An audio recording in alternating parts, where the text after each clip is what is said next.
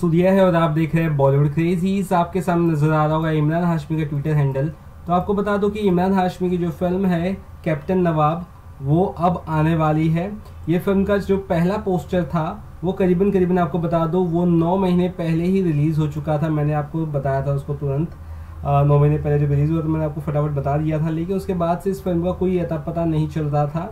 ये भी खबरें आई थी कि फ़िल्म कब रिलीज़ होगी, यानी कि कैप्टन नवाब तो आपको बता दूँ कि इस फ़िल्म की 9-10 महीने बाद अब जाकर शूटिंग शुरू हुई है, जैसे कि आप देख सकते हैं क्लैप बोर्ड में लिखा है शॉर्ट वन ठीक है?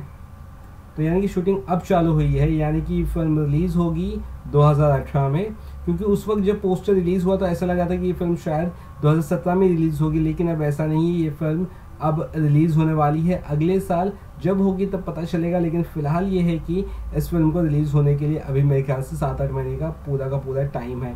तो क्या कैसा लगा आपको ये न्यूज़? ज़रूर बताइए। आप और आप इमरान हाशमी के फैंस हैं तो आपको ज़रूर खुशी होगी जान के। चलिए, वीडियो अच्छा लगे चैनल सब्सक्राइब करना भूलिए। फ़िलहाल के इतना ही। Bye bye